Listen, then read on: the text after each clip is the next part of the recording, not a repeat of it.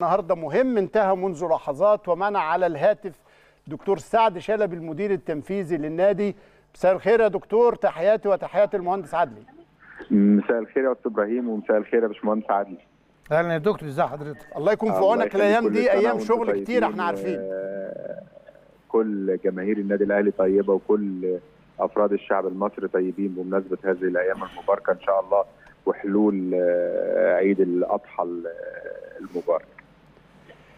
دكتور النهارده كان في اجتماع للمجلس مش كده؟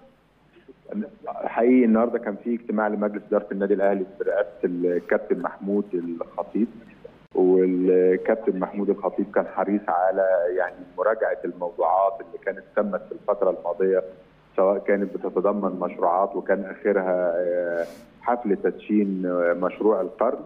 وكان الكابتن كمان حريص على إن هو يحيط المجلس بترتيبات المرحلة القادمة والتكليفات اللي هتتم في المرحلة القادمة لأن في الحقيقة الكابتن محمود طبعا آه، هيخضع في الفترة القادمة من غدا إن شاء الله لرحلة علاج طويلة المدة شوية لأن طبعا هو محتاج فترة علاج وفقا لتعليمات الأطباء اللي هم مختصين بالحالة بتاعت الكابتن محمود.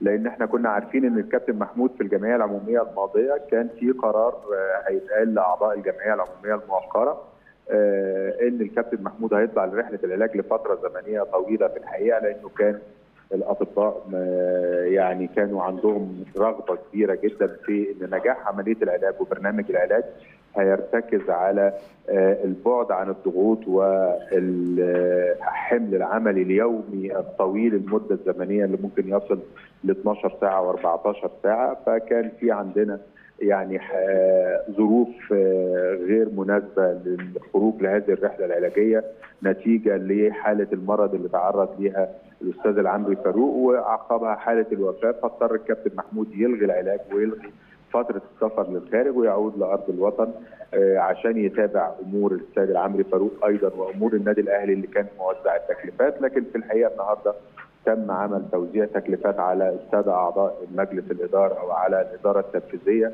للقيام برحلة العلاج اللي هي مطلوبة من فترة لأن في الحقيقة ال- التحليلات الأخيرة كانت بتظهر أمور آه، غير إيجابية آه، وبالتالي كان من الضروري السفر والالتزام بقى بالبرنامج العلاجي فسوف يسافر الكابتن محمود من غدا إن شاء الله لرحلة علاجه والالتزام بتعليمات الأطباء والبدء في هذه المرحلة التي أصبحت ضرورة ملحة في الفترة الحالية. هل مقدر مدة ال- ال- الراحة والعلاج يا دكتور؟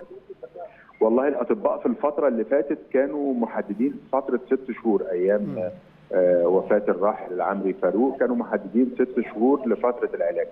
آه الفترة الحالية على الأقل يعني على الأقل إحنا ممكن يبقى عندنا آه مش أقل من شهرين لثلاث شهور لاستكمال العلاج بالشكل الذي يقرره الأطباء قد تطول هذه المدة وفقا لقرار الأطباء وفي حالة استعادة ال- ال- الحالة الصحية الطبيعية ممكن أن تكون هذه المدة أيضا أقل من ذلك لكن ده هيتوقف على التزام الكابتن محمود ببرنامج العلاج وعدم التعرض لأي ضغوط خلال الفترة القادمة إن شاء الله.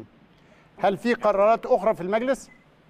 يعني كان عندنا مجموعة من القرارات اللي تتعلق بمتابعة الأعمال الموجودة في النادي لكن كمان كان عندنا قرار واحد من القرارات أيضا ال- ال- المهمة اللي تتعلق في آه، التعاون مع شركة آه، السادات للاستثمار الرياضي وواحدة من الشركات الوطنية. آه، ان المجلس النهارده قرر إنه يعتمد تقرير اللجنة المشكلة من قبل مجلس الإدارة للتعاون مع شركة السادات الوطنية بشأن إعادة هيكلة المجموعة الاقتصادية اللي هي موجودة بين شركة السادات والنادي الأهلي وأيضا إعادة هيكلة قناة النادي الأهلي التابعة لشركة الأهلي للإنتاج الإعلامي بالتعاون مع شركة برزنتيشن. اعتماد تقرير اللجنة ولا آه، تكلف لجنة بهذا العمل؟ لا اعتماد تقرير لجنة كانت مشكلة بقرار من مجلس الإدارة بتاريخ 1 10 24 1 10 1 24 ال- النشاط الرياضي كان فيه أي قرارات في تشكيلات أجهزة فنية وغيره؟ لا لسه تشكيلات الأجهزة الفنية إن شاء الله. على قبل 1 7 إن شاء الله يتم اعتماد تشكيلات الأجهزة الفنية للنادي وكل تشكيلات النشاط الرياضي إن شاء الله.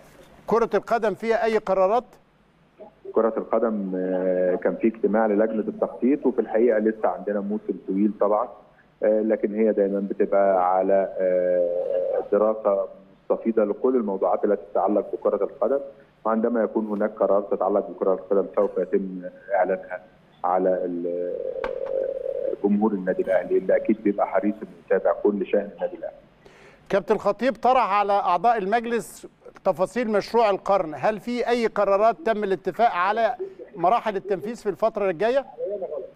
تم استعراض البرامج اللي متعلقة بالمشروع في الحقيقة والتأكيد على إن إحنا حريصين على إن إحنا نطبق هذا البرنامج الذي تم وضع بعنايه شديدة في وجود في إطار اتفاق موجود ومكتوب ويمكن أعلنا عنه في ال- الحفل بإن عدد صفحات يمكن الكابتن حريص كان يعلن عدد الصفحات عشان يبان حجم الدقة والتفاصيل الموجودة التي تتعلق بهذا المشروع بحيث توقيتات التنفيذ، المساحات المحددة، الأعداد التي يستوعبها كل مشروع سواء كان الجامعة سواء كان المدرسة سواء كان الاستاد آه، المساحات المحددة لكل منهم، المراحل اللي هيتم تنفيذها فده أعتقد بيعكس ال action plan اللي موجودة لهذا الموضوع بتفاصيله الدقيقة بتوقيتات زمنية محددة بمصادر تمويل واضحة وبجهات مسؤولة عن التمويل. دكتور إحنا بنشكرك جدا وتحياتنا للكابتن الخطيب وتمنياتنا له بإذن الله تعالى برحلة علاجية موفقة ويرجع منها إن شاء الله تعالى في أحسن صحة وحال. إن شاء الله. شكرا يا أستاذ إبراهيم. شكرا.